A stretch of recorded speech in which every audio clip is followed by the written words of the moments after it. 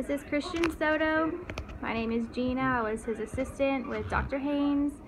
He had um, four extractions done today of his wisdom teeth, 1, 16, 17, and 32. How um, did we do today? Amazing. Good.